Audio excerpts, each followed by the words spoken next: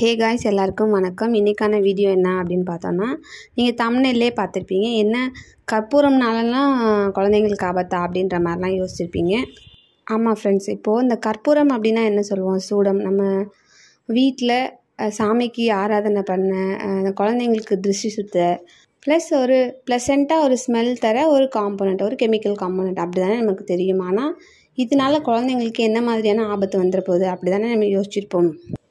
ஆனால் இந்த கற்பூரம் அதாவது நம்ம வீட்டில் யூஸ் பண்ணுற சூடம் இருக்கு இல்லையா அது என்ன பண்ணும் அப்படின்னா குழந்தைங்க வந்து தெரியாமல் எடுத்து விழுங்கிட்டாலோ இல்லை ஏதோ எப்படியோ வாயில் பட்டுட்டாலோ இது என்னென்னா நம்மளோட உமிழ்நீர் வழியாக சீக்கிரமே அப்சார்ப் ஆகி அது என்ன மாதிரியான விளைவுகள் ஏற்படுத்தும் அப்படின்னா போட்ட கொஞ்ச நேரத்துலேயே அதாவது எவ்வளோ சீக்கிரத்தில் அப்படின்னா அது விழுங்கின மூணாவது நிமிஷத்துலேருந்து அஞ்சாவது நிமிஷத்துக்குள்ளேயே பெரிய அளவில் வலிப்பு வந்து அது மரணம் வரைக்கும் இழுத்துட்டு போகக்கூடிய ஒரு பெரிய ஒரு பாய்சனஸ் மெட்டீரியல் அப்படின்னு சொல்லிட்டு சொல்கிறாங்க ஃப்ரெண்ட்ஸ் எப்படி இது வந்து ஃபிட்ஸு காஸ் பண்ணுது அப்படின்னா இதில் இருக்க ஒரு ஏஜென்ட் வந்து நம்மளோட நரம்பு எண்டிங்ஸ்லாம் போயிட்டு டக்குன்னு பிரெயின் வரைக்கும் பரவி ஃபிட்ஸ் வந்துடுதான்.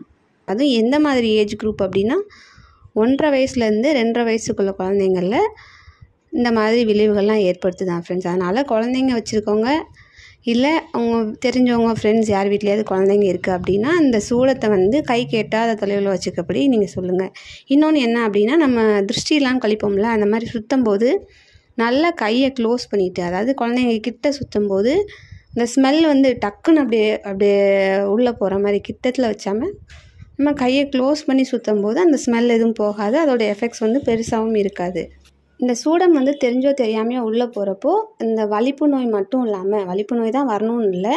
வலிப்பு இல்லாமல் இந்த பாய்சனஸாக அதாவது போன உடனே இந்த அப்படியே வாயெல்லாம் ரொம்ப அப்படியே எரிச்சலாக பேர்னிங் சென்சேஷன் ஆகி அடுத்த கொஞ்ச நேரத்தில் வாய் கொப்பளம் வாமிட்டிங் டயரியா அந்த மாதிரி போய் அதுவுமே மரணம் வாய்க்கு இழுத்துட்டு போகக்கூடிய ஒன்று அப்படின்னு சொல்லிட்டு உங்களுக்கு டவுட்டாக இருந்தால் நீங்கள் கூகுளில் கேம்பர் பாய்சனிங் அப்படின்னு ட்ரை இது டைப் பண்ணி பார்த்தீங்கன்னா அதோட ஃபுல் சைடு எஃபெக்ட்ஸ் போட்டிருப்பாங்க.